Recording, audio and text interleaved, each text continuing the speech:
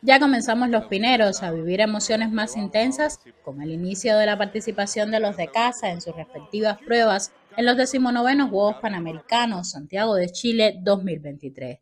Anoche todos corrimos con el joven velocista del patio Shiner Reginfo Montoya, quien en una prueba destroza nervios, donde los competidores tuvieron que arrancar tres veces y donde el nuestro tenía el mejor tiempo de la temporada, más discreto, y el menor peso corporal, quedó octavo en la final de los 100 metros planos con cronos de 10.44, donde ganó el oro el dominicano José González con 10.30 y el brasileño Felipe Bardi y el guyanés Emmanuel Archival, ambos con 10.31, se adjudicaron la plata y el bronce respectivamente. Con la esperanza de seguir viendo a Shiner crecer, desde bien temprano de este miércoles conectamos entonces con el canotaje que nos da otra vez esperanzas de conquistar el podio.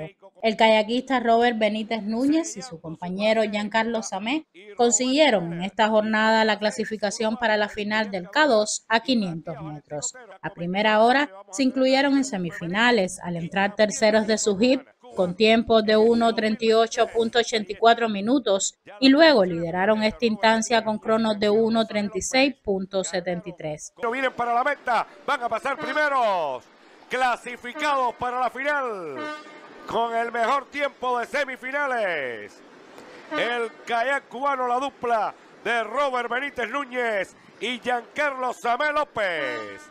La gran final se disputará este viernes y todos los botes cubanos concursantes hoy estarán presentes. Nuevas emociones nos esperan en esta Liga Panamericana y algunas de ellas tendrán, nadie lo dude, sello Pinero, Juliet Calaña y Isla Visión.